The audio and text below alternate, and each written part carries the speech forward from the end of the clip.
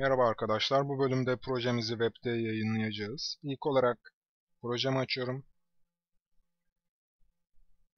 Ben şu bağlantılarda küçük birkaç küçük değişiklik yapıyorum arkadaşlar. Çünkü alt klasörde yayınlayacağım için bunları bu şekilde düzenlemeliyim. Ve stilde de logo olacak.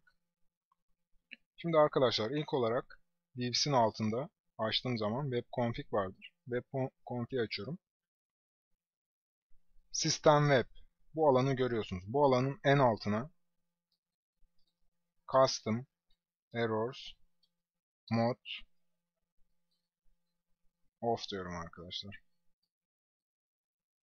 Bu şekilde kapattım. Hatta şöyle kısa şekilde kapatalım. Bunu arkadaşlar yayınladıktan sonra Custom Errors'u kapatmam için bana bir uyarı veriyor. Sayfayı göstermiyor. O yüzden bunu ekledim. Bir de Web Optimization paketi var. Eğer öyle bir hata alırsak onu kuracağız.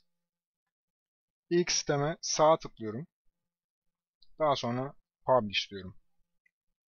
Buradaki boş olana tıkladım. New Profile. İlk sistem diyorum.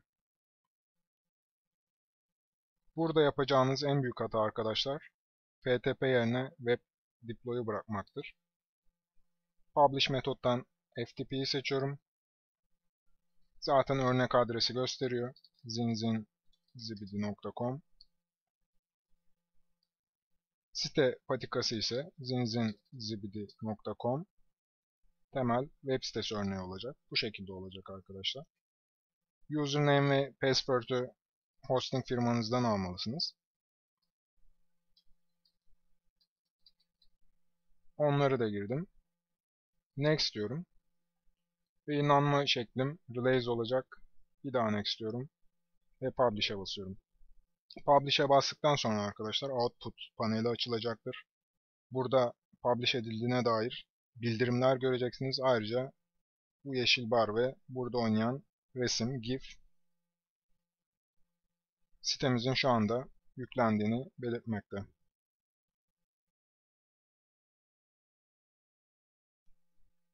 Evet arkadaşlar yayınlamam bitti. Bakalım sistem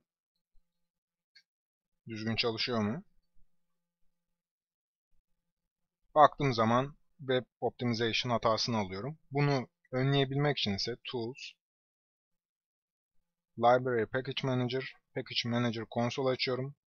Şurada bir PM deklarasyonu görüyorsunuz. Bundan sonra Install, Package, Microsoft nokta ASP.NET nokta Web Optimization diyorum.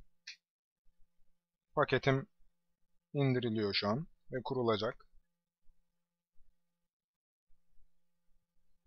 Referanslar ekleniyor arkadaşlar. Solution Explorer'dan da görebilirsiniz. Yes all diyorum.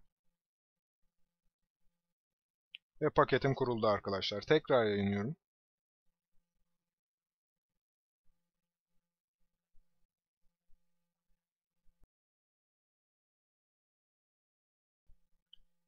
Evet arkadaşlar yayınlamam bitti yine.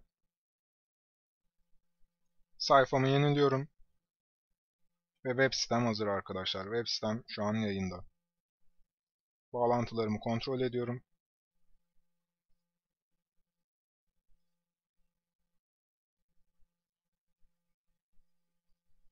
Evet her şey yolunda arkadaşlar. Bu şekilde ASP.NET MVC4 teknolojisiyle layout bir site tasarlayabilirsiniz.